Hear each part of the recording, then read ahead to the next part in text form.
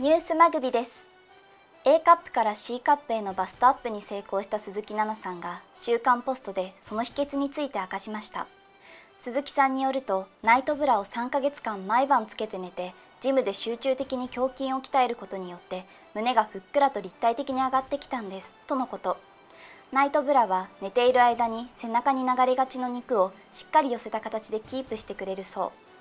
う。美しいバストをゲットした鈴木さんは共演者からも変化について指摘されることが増えたそうです。ニュースマグビ。